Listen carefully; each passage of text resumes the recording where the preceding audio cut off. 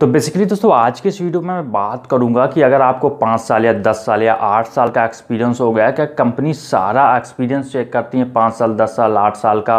For example आपकी कोई दस साल पहले कंपनी थी या पाँच साल पहले कंपनी थी, वो बंद हो गई, क्या उसका भी बैकग्राउंड वेरिफिकेशन होगा? तो वही डिस्कस करेंगे आज के इस वीडियो में। वीडियो को लास्ट तक आप देखते रहना, जितना भी कन्फ्यूज़न या डाउट है, वो पूरा क्लियर इसमें होने वाला है। सो so, ज़्यादा टाइम ना लेते वीडियो को शुरू करते हैं। नमस्कार दोस्तों मैं शुभ और आप देख रहे हैं आपका अपना आईडी इंजीनियर यूट्यूब चैनल तो चलिए शुरू करते हैं शुरुआत से छोटी सी इंट्रो के बाद। तो पहले मैं यही बता देना चाहता हूँ। जी हाँ दोस्तों it's totally depend on the company ये कंपनी पे पूरा डिपेंड करता है। वो चाहे तो आपका 20 साल का भी बैकग्राउंड वेरिफिकेशन करा सकती है। वो चाहे तो आपकी प्रीवियस कंपनी का भी बैकग्राउंड वेरिफिकेशन ना कराए और वहाँ पे जॉब दे देती है। अब यहाँ पर प्रॉब्लम क्या होती है कि जैसे हम लोग की पाँच साल या दस साल पहले कंपनी होती है एज स्टार्टअप किया होता है तो वो कंपनीज़ बंद हो जाती हैं बेसिकली तो वहाँ पर चीज़ें वो काम करती हैं ऑन मेल यानी कि आपके पास अगर कोई भी रिटर्न डॉक्यूमेंट्स है तो आप नेक्स्ट कंपनी को दिखा सकते हो कि ये कंपनी है, ये बंद हो गई है और ये मेरे पास उसके रिटर्न डॉक्यूमेंट्स हैं। आपके पास जो मेल वगैरह आते हैं मेल पे आते हैं ना कि ऑफ़र लेटर ये है, या एक्सपीरियंस लेटर ये है रिलीविंग लेटर ये है, या और भी कोई कम्युनिकेशन होता है, या आपका अगर पी वगैरह वहाँ पर मिल रहा होता तो पीएफ की पासबुक जो होती है वो अलग अलग बनती है। या अगर आपको ऐसा लग रहा है कि ऐसी प्रॉब्लम हो सकती है और आपका सेम अकाउंट नंबर है तभी से चला आ रहा है तो आप उस अकाउंट नंबर का बैंक स्टेटमेंट भी वहाँ पे शो करा सकते हो किसी भी नेक्स्ट कंपनी के लिए।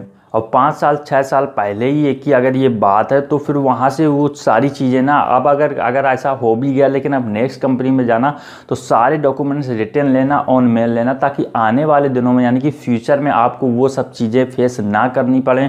इस तरीके की एक्सपीरियंस लेटर नहीं यार मेरी कंपनी बंद हो गई, वो सारी चीज़ें हो गई। एंड आपके पास सारे डॉक्यूमेंट्स हैं। ऑन मेल बेसिकली वही कंपनीज़ मांगती हैं, जो एक बड़ी ऑर्गेनाइजेशन है, जो एक बिग ऑर्गेनाइजेशन जो बहुत अच्छे से बैकग्राउंड वेरिफिकेशन करती हैं। लेकिन अगर मैं यहाँ पे बात करूँ एक स्मॉल ऑर्गेनाइजेशन की तो वो क्या करते हैं कि ये, अगर आप फॉर एग्ज़ाम्पल आपको पाँच साल का एक्सपीरियंस है तो वो क्या करते हैं कि प्रीवियस दो या तीन साल का एक्सपीरियंस लेटर वहाँ पे लेके काउंट करके और वो शो करा लेती हैं। बस उतने से ही सेटिस्फाइड हो जाते हैं।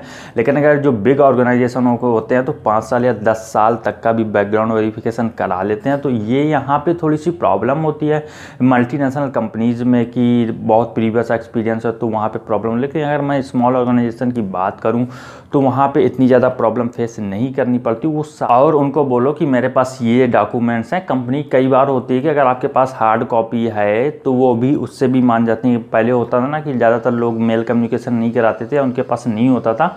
तो कंपनी बेसिकली क्या करती है कि वो हार्ड कॉपी से ही मान जाती हैं। बस आपके पास ओरिजिनल होने चाहिए वो सारे डॉक्यूमेंट और स्कैन कॉपी वो मांगते हैं। फिर जब आपका ज्वाइनिंग होता है, यानी कि ऑनबोर्डिंग होती है तो फिर वो सारे हार्ड कॉपी डॉक्यूमेंट्स या जो भी होते हैं, वहाँ पर मांगते हैं। बस बसरते आपकी, जो आपकी क्वालिफिकेशन लाइक टेंथ ट्वेल्थ या ग्रेजुएसन वगैरह किया तो वो सारे डॉक्यूमेंट्स ओरिजिनल होने चाहिए और उससे ही ऑनबोर्डिंग आपकी करा के वहाँ पर वो दे देते हैं। तो दोस्तों फाइनली मैं यही कहना चाहूँगा कि बड़ी कंपनी में कभी प्रॉब्लम क्रिएट कर सकता है वो भी रेयर कंडीशन में।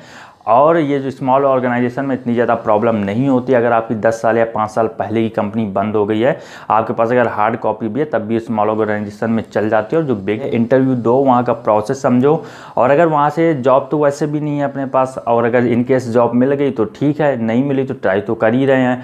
तो ये मत सोच के बैठो वहाँ पर कि यार मेरे पास इतनी प्रीवियस कंपनी का बैकग्राउंड वेरीफिकेशन कैसे होगा, मेरे पास डॉक्यूमेंट्स नहीं है। जाओ पहले इंटरव्यू दो प्रोसेस हो, फिर उनको डील करो, उनसे बात करो ऐसी ऐसी चीज़ें थी और सारी चीज़ें आज की दुनिया में पॉसिबल हैं।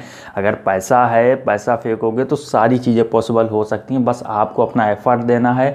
आपको डील करना कितना ज़्यादा ज़्यादा पंद्रह दिन, एक महीने, डेढ़ महीने ही प्रॉब्लम होगी ना, उतना आई होप दोस्तों इस वीडियो से आपको काफ़ी कुछ सीखने को मिला हो। वीडियो अगर अच्छा लगा तो लाइक और शेयर ज़रूर करें एंड चैनल को सब्सक्राइब ज़रूर कर लें और उसके बाद बेल आइकन को भी हिट कर ली ताकि मैं अगर कोई नेक्स्ट वीडियो अपलोड करूँ तो वो मिस ना हो। इसके बाद भी अगर आपका कोई कॉमेंट्स है, कोई नीचे मुझे कॉमेंट सेक्शन में बता सकते हो, मैं उसका रिप्लाई ज़रूर दूँगा। अगर आपको ऑन स्पॉट आंसर चाहिए तो इंस्टाग्राम की आईडी आपको नीचे डिस्क्रिप्शन में मिल जाएगी। वहाँ पे मुझे फॉलो करके मेरे से क्वेश्चन कर सकते हो। वहाँ पे मैं ऑन स्पॉट आंसर दे देता हूँ। और चैनल को सब्सक्राइब कर भी लेना चाहिए, क्योंकि यही एक ऐसा चैनल है जहाँ पे आपके कन्फ्यूज़न या डाउट क्लियर होते हैं, जो कि मेरा नाम है शुभम। मैं मिलता हूँ अपने नेक्स्ट वीडियो में। Till then have a great moment and don't forget to like share and subscribe thank you so much for coming here जय हिंद जय भारत